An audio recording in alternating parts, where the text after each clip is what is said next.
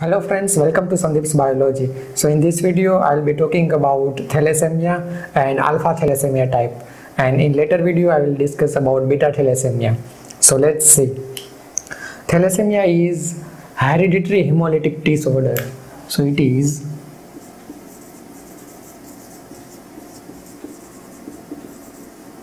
it is hereditary hemolytic disorder.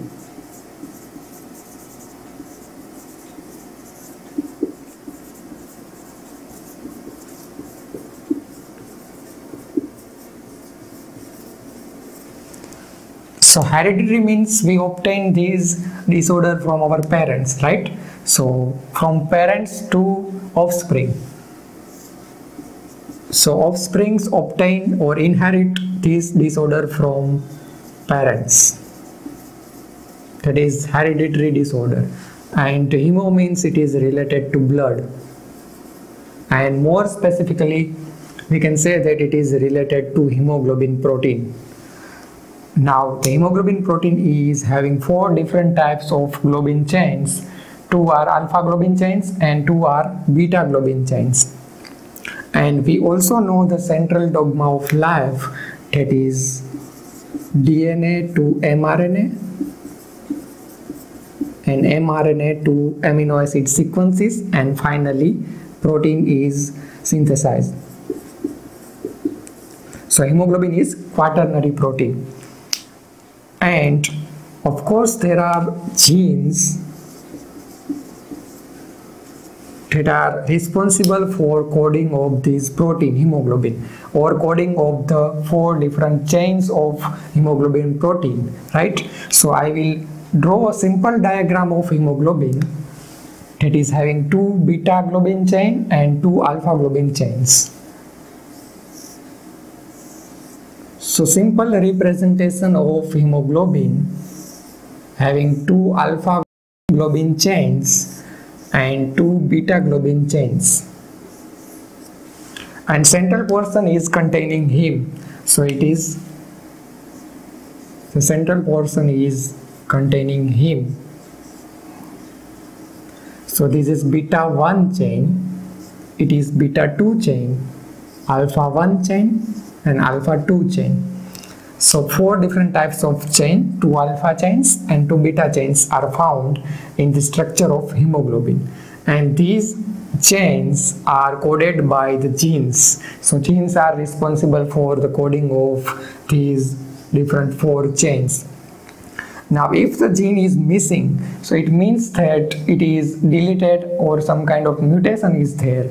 So there will be impairment or, or, imbalance in the synthesis of globin chains. These globin chains of hemoglobin occur and that is known as thalassemia. So imbalance or impairment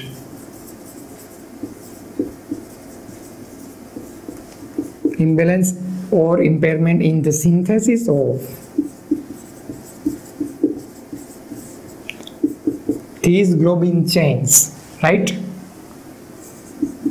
Synthesis of globin chains that are 2 alpha and 2 beta globin chains. So this is known as thalassemia. If there is some imbalance in the synthesis of globin chain then it is known as thalassemia. Now according to which which chain synthesis is imbalance the thalassemia are of different types. If, for example, alpha chain synthesis is imbalanced, then it is known as alpha thalassemia. And if the synthesis of beta globin chain is impaired, then it is known as beta thalassemia.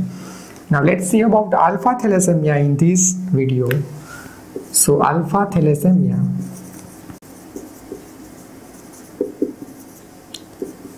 The gene that is coding alpha chains that is present on chromosome number 16 so chromosome number 16s are having genes that codes for the alpha globin chains right?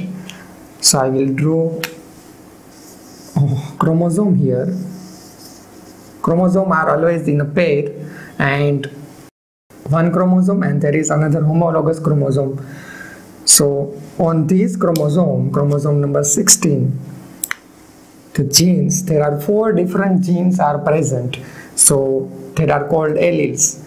The genes that are coding the same trait are called alleles. So four different alleles or four different genes that are present and are coding for alpha globin chains of hemoglobin.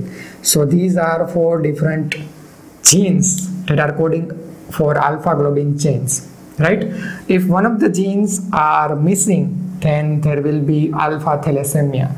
And according to the number of genes that are missing alpha thalassemia are having different subtypes. So let's see about it. So let's see about the types. Here the genes that are missing and symptoms.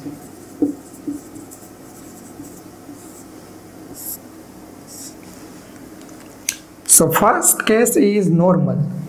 All four genes are present. So it makes protein hemoglobin and it codes for alpha globin chains. So the person is not having any kind of disorder if four all four genes are functional. Right? So first subtype is silent carrier. In silent carrier, one of the genes that are coding for alpha globin chain are missing. So I will indicate the missing gene by this blue color. And all other three genes are functional.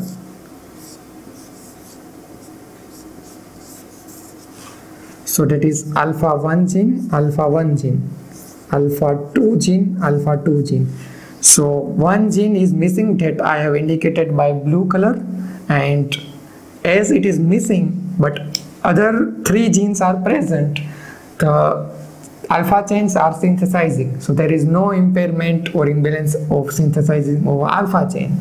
So it is synthesizing. So this person are having no symptoms. So it, this person can live normal life. But it carries alpha thalassemia trait to its offspring. It is having normal but it carries the trait. Second subtype is alpha thalassemia trait.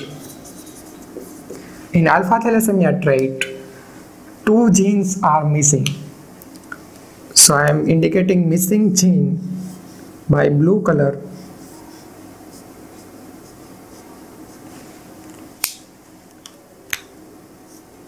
and other two genes are present and functional. So these two are alpha 2 gene and is alpha 1 gene. So two alpha 1 genes that codes for alpha 1 globin chains are missing so that this person having alpha thalassemia trait will have minor anemia. Third subtype is hemoglobin H disease. So in hemoglobin H disease, two genes that are coding for alpha 1 globin chain is missing and one gene that is coding for alpha 2 chain is missing. So it will be like this. Only one gene is present or functional.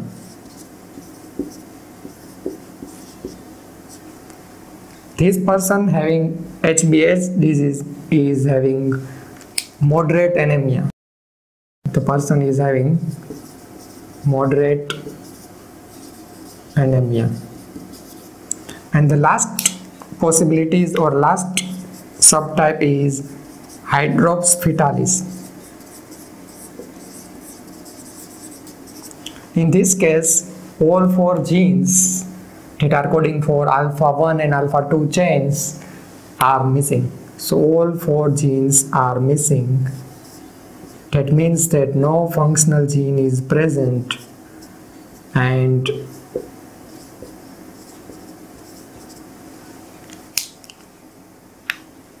death on birth occurs. So in hydrops fetalis the fetus will be dead on birth. So death on birth occurs. In case of Hydrops fetalis, it, the fetus will no longer live. So that is four different subtypes according to the number of genes that are missing that are coding for alpha 1 and alpha 2 chains of hemoglobin. So that is about alpha thalassemia type and different subtypes of alpha thalassemia. I hope this video is helpful. If you are watching this video till here, please hit the like button, share this video with your friends. If you want more videos like this, then subscribe to my channel. Thank you for watching.